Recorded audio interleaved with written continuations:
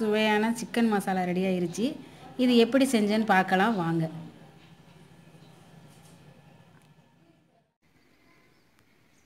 எல்லாருக்கும் வணக்கம். இன்றைக்கி நம்ம மகிழ்ச்சி சமையலில் சிக்கன் மசாலா செய்ய போகிறோம் அது எப்படி செய்யலான்னு பார்க்கலாம் வாங்க. அதுக்கு தேவையான பொருட்கள் பார்த்துடலாம்.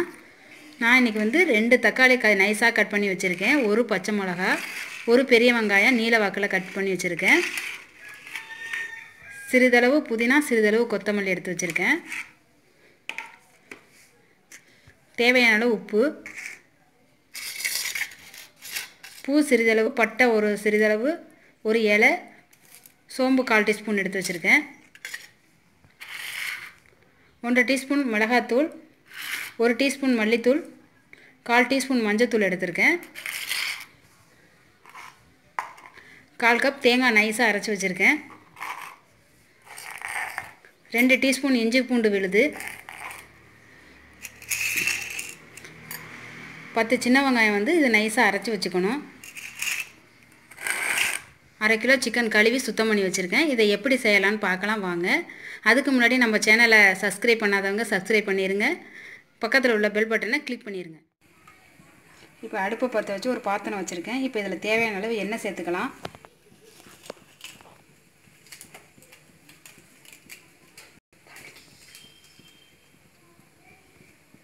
இப்போ எண்ணெய் சூடாயிருச்சு. இப்போ இந்த வச்சுருக்க பட்டை வகையை சேர்த்துக்கலாம்.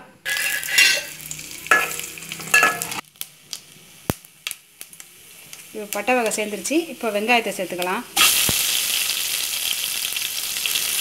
இப்போ வெங்காயம் பொன்னிறம் ஆனோன்னே அந்த இஞ்சி பூண்டு விழுது பச்சை மிளகாய் எல்லாத்தையும் சேர்த்துக்கலாம்.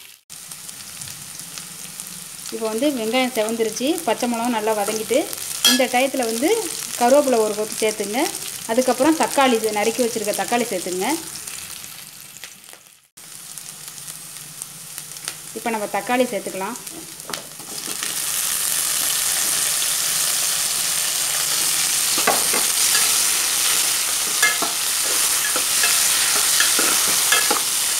இந்த தக்காளி இப்போ நல்லா வதங்கி ஒரு கிரேவி பக்குவத்தில் வரணும். தக்காளி நல்லா வதங்குறதுக்காக இப்போ உப்பு தேவையான அளவு சேர்த்துக்கலாம்.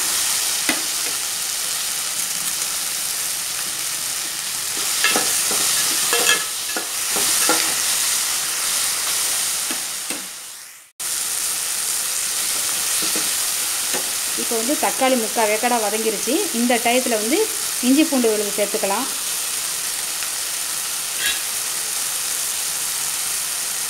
புதினா கொஞ்சோண்டு சேர்த்துங்க. கொத்தமல்லி தலை கொஞ்சோண்டு இப்போ நல்லா வதக்கிக்கலாம்.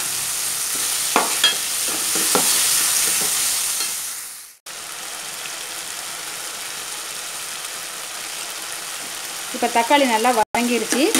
இந்த டயத்தில் அரைச்சி வச்சுருந்துருக்க சின்ன வெங்காயத்தை சேர்த்துக்கலாம்.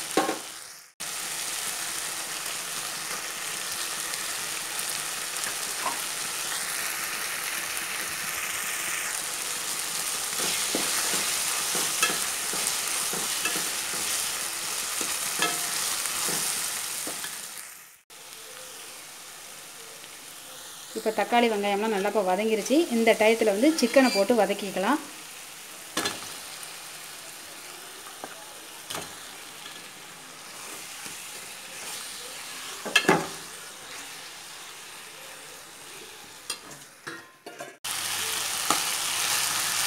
இப்போ சிக்கனை நல்லா போட்டு வதக்கிட்டோம்.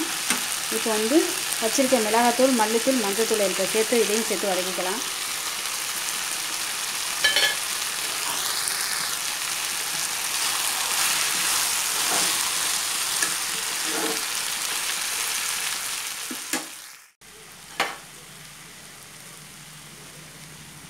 இப்போ நல்லா சிக்கன் வதங்கிச்சு இந்த டயத்தில் வந்து அரைச்ச தேங்காய் விழுது சேர்த்துக்கலாம்.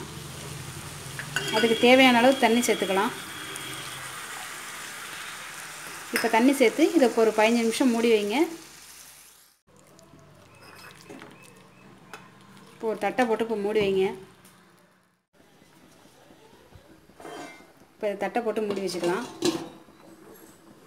இருபது பதினஞ்சு நிமிஷம் இருக்கட்டும்.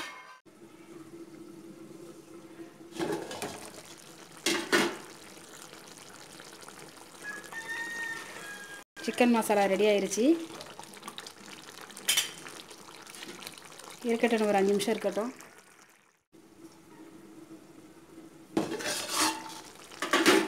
சிக்கன் மசாலா ரெடி ஆயிடுச்சு இதை இப்போ வந்து வேற ஒரு பாத்திரத்தில் மாற்றிக்கலாம்